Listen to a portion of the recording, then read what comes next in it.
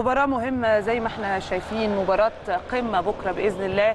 يعني لكذا سبب كمان منهم أسباب كريم اتحدث عنها وأسباب أولهم زي ما إحنا كنا بنقول هي بطولة خاصة بطولة خاصة. تاني حاجة عندك كولر وعندك اللعيبة والجماهير عايزين موسم بلا هزيمة. يعني إحنا حتى هذه اللحظة الأهلي بلغة الأرقام لعب 20 لقاء فاز في 23 29 عفوا لقاء فاز في 23 واتعادل في 6 فأنت بتتكلم إحنا أكيد عايزين نكمل ال season بلا هزيمة عشان. يبقى season فعلا استثنائي. في كل شيء. أنا لو اتكلم على الدوري تاريخ مواجهات الأهلي والزمالك تحديدا. أنت بتتكلم عن 126 مباراة. الأهلي فاز فيهم تقريبا ب 48 أو تحديدا ب 48 لقاء اتعادلوا في 50 والزمالك فاز في 27 طبعا فوارق كبيرة جدا في الأرقام لكن ما زال ده برضو مش هيدينا الطمأنينة. لا هيدينا الثقة لكن مش الطمأنينة. ممكن يبقى عندك ثقة وأنت نازل أي تنافس لكن في نفس الوقت لازم يكون في برضو آه، رغبة إن أنت تفوز. يبقى في دايما كده يعني آه، زي ما بيتقال يا كريم أنا عندي يعني مطلع حياة. على آه. الفوز مش فكرة بس أنا نازل وعارف أو واثق من الفوز لأ أنا مطمن لكن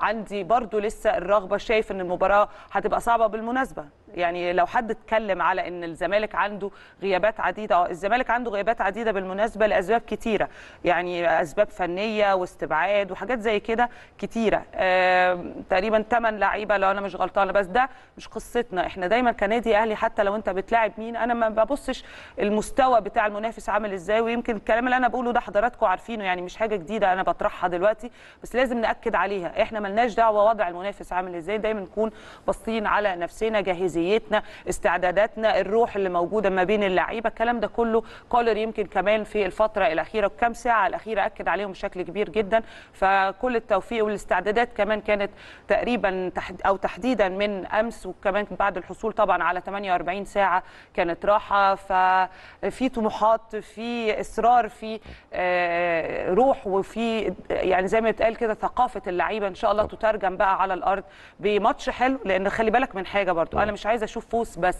أنا عايزه أشوف ماتش حلو وعايزه أشوف كمان نتيجة حلوة. فبإذن الله ده. يحقق إن شاء إن الله شاء الله هيحصل وهتشوفي أداء مرضي وهتشوفي نتيجة مرضية. لجماهير النادي الأهلي طبعا إحنا بنتكلم على آه، فريق ال- ال- ال- الزمالك الفريق المنافس ايا كان وضعه ايا كانت حالته الآنية في الفترة الحالية. لكن إحنا في الآخر بنتكلم على قطب من أقطاب كرة القدم المصرية بطبيعة الحال وعبر الأزمنة المختلفة. كرة القدم في مصر لزمان مش قليل. محصور دايما بين الأهلي وبين الزمالك ودايما ماتشاتهم بتبقى ليها طبيعة خاصة جدا ايا كان وضع الفرقتين لكن بطبيعة الحال كل فريق منهم حوافزه ودوافعه بتتضاعف لما بيكون اللقاء بيضمه أو بيجمعه بالغريم التقليدي والمنافس التاريخي ليه. إن شاء الله نسعد كلنا بمتابعة مباراة مرضية لينا كلنا كجماهير النادي الأهلي.